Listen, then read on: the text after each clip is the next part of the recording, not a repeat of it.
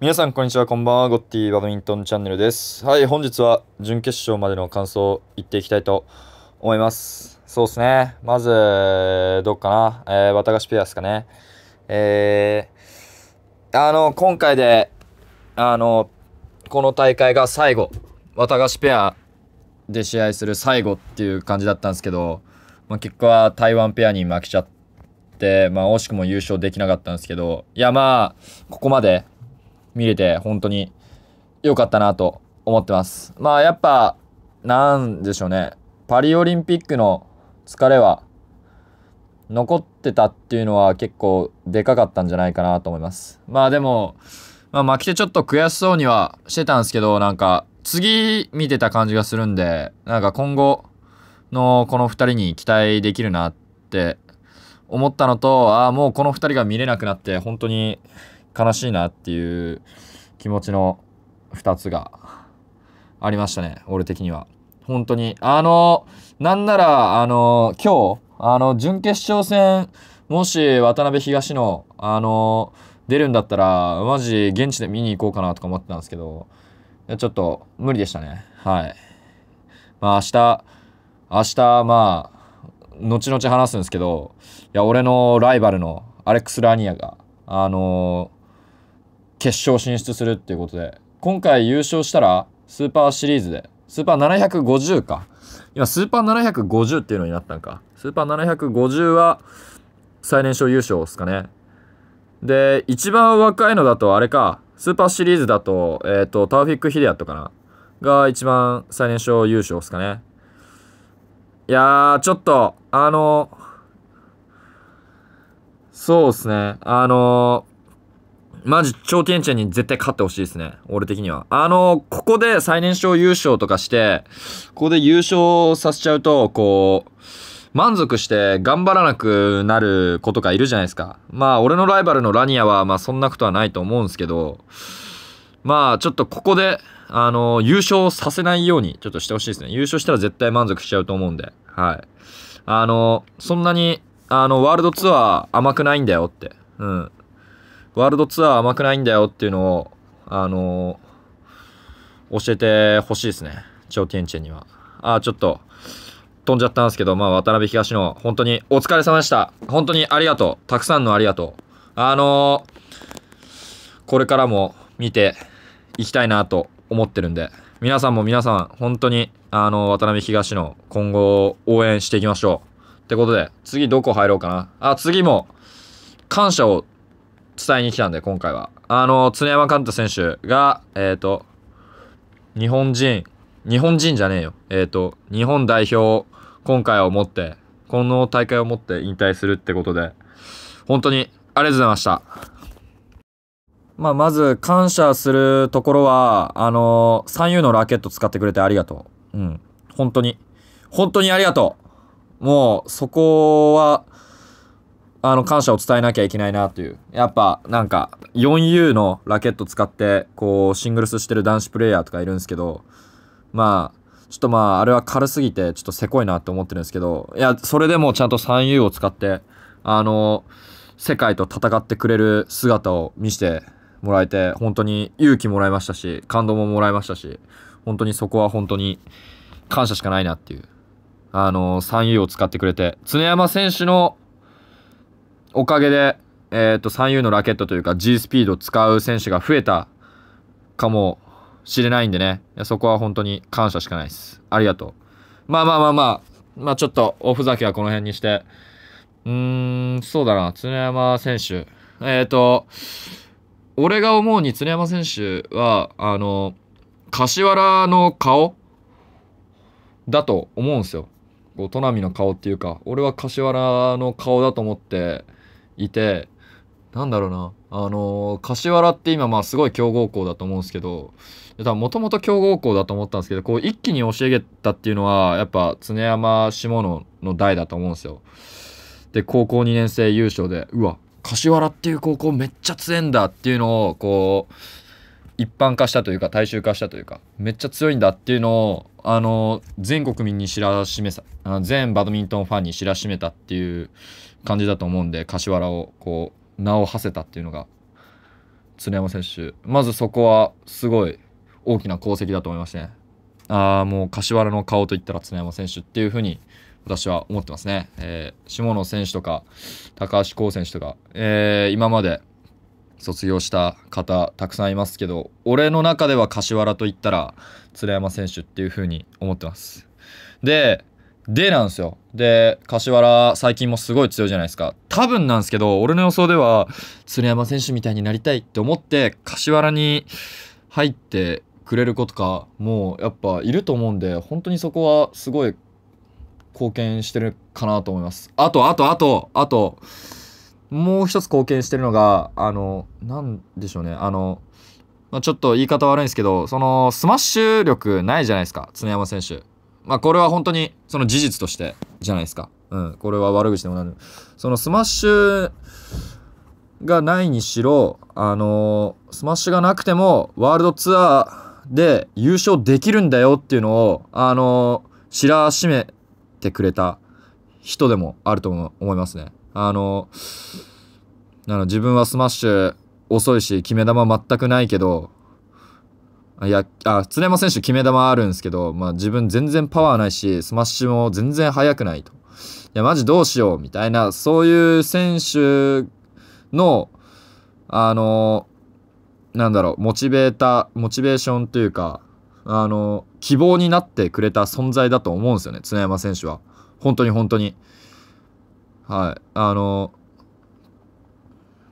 あの、バドミントン IQ と、あの、ラリー力、あの、カットだったり、カットスマッシュだったり、あの、あの手この手を使って、もう、まあ、しん、まあ、タッパも、まあ、173ぐらいなんでしょうね。多分あんまないじゃないですか。なんで、その、世界トッププレイヤーってやっぱ結構でかいのに、そのタッパーもないのに、あれでワールドツアー優勝したんで、本当にみんなの憧れ、希望になったと思うんですよ。こう、俺は全くその体格的にパワーないけど、えどうやって勝てるんだろうと思って。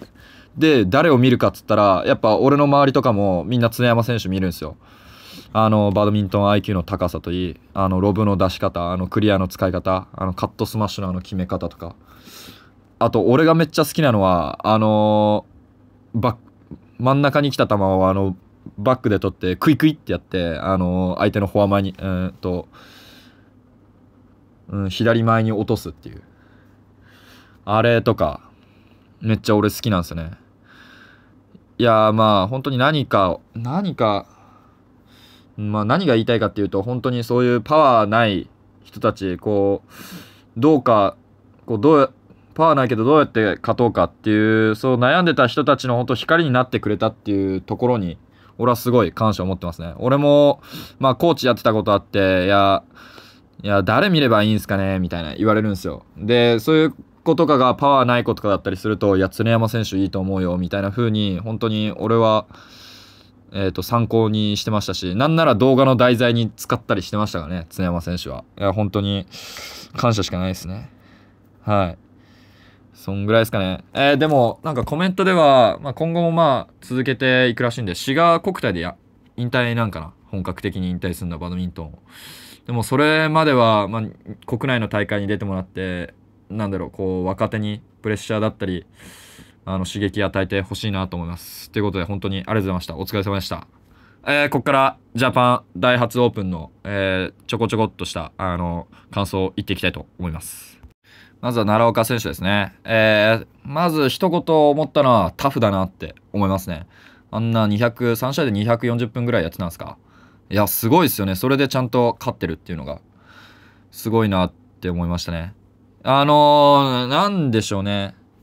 俺が、こう、こう、ポジティブに捉えてるというか、俺が思うのは、あの、あの、足入ったロブマジで完璧すぎて、あれ、現地で見に行くだけでも金取れるなって思いますし、あと、奈良岡クロス。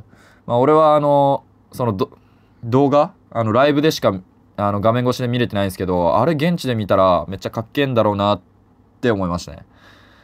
はい。あれは現地で見てめっちゃ興奮するなって思いました。あれは全然金取れるレベルで面白い試合だなと思いましたね。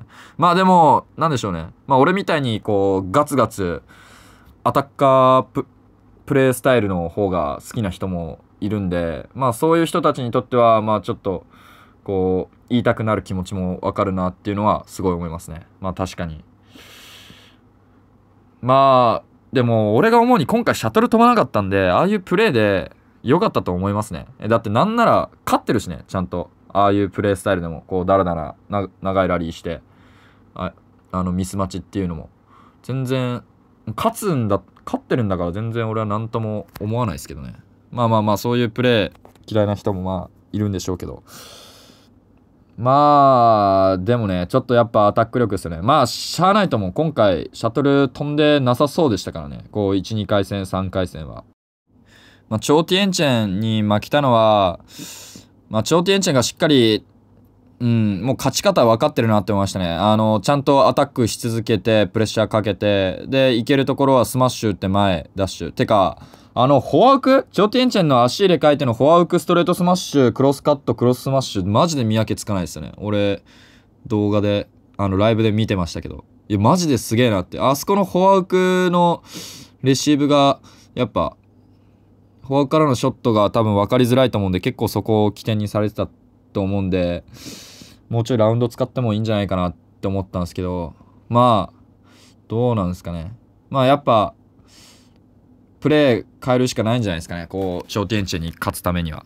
いや、まあ、まあまあまあ、あっちももう年ですし、下がってくると思うんで、まあ、このままちゃんといい練習し続けてたら全然いけると思いますし、対策もすればいけるなって思うんですよね。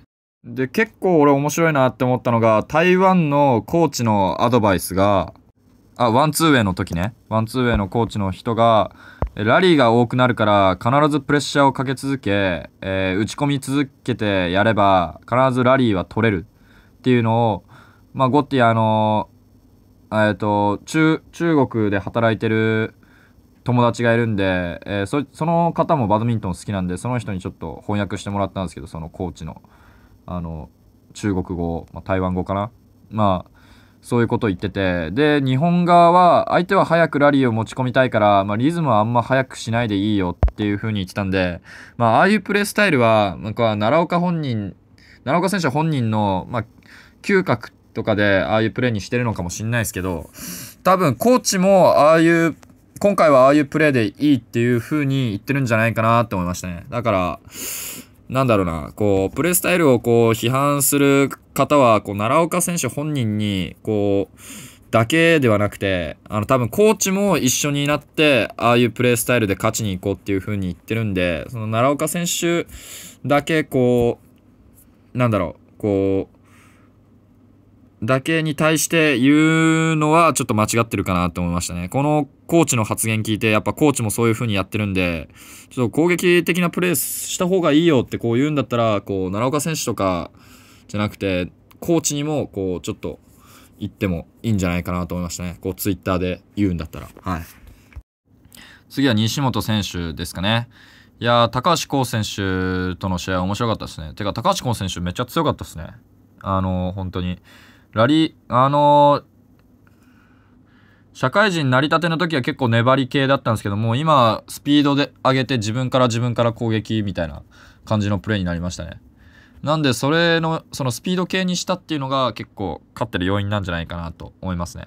はい。いや、でも西本選手、まあ、気持ちがちみたいなところはありましたね。いや、もう、もう、下から来られるの絶対きついだろ思うんですけど、まあ、それでも勝ってくれてなんかこう A 代表の意地みたいなのが見えましたね。まあそうですね。アレックス戦は1ゲーム目もうアレックス対策してたね。あのロンサーから。あの不意打ちロンサーもガンゴリ待ってたしあのロえー、西本選手のロブに対してもガンゴリ待ってたしクリアも全部待ってたんであれ完全に対策ですね。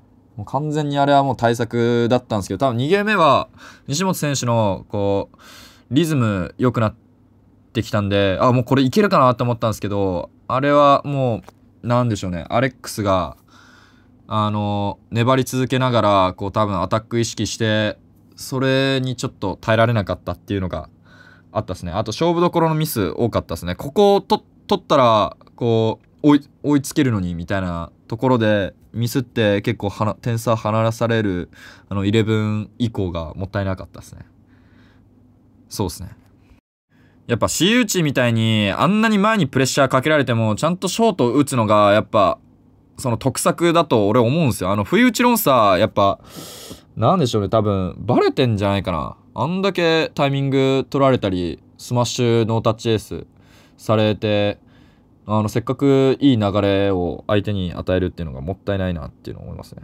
まあまあまあまあロブの出し方とクリアの出し方あれ完全にもうあれはがっつりそのフランスそのコーチ陣の多分コーチ陣とアレックスで多分話し合ってのあの対策だと思いますね。あの絶対1ゲーム目はクリアロブで多分多めに来るんだろうってそれ待ってスマッシュでいいよみたいな。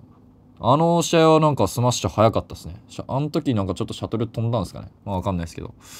いやー強かったですねアレックス。まあでも1ゲーム目はまああれはうん対策ゲーみたいなところあったっすね。俺から見ててね。はい。えっ、ー、と。まあまあまあでもアレックス俺のライバルなんでちょっと俺もバドミントンやんなきゃなって。ちょっとやばいなあれ。世界で一番 NB 一番強い NBA 好きのバドミントンプレイヤーになってるな。ちょっとそこのそこの枠はゴッティバドミントンチャンネルだったはずなんですけどね。